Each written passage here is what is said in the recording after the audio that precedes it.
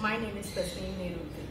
I've been going to Dr. Jasmine Modi since 2014 and she has sorted out many of my health issues like uh, cervical spondylitis which I was really suffering from 4 years, 5 years maybe and uh, adenomyosis and many many more.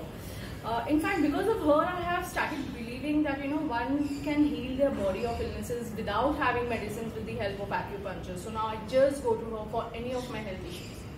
Recently, I did her uh, four-day spring detox program, which she does by acupuncture, cupping, and you have to follow a simple diet. And post the program, I have realized my energy levels have shooted up. You know, I feel so good.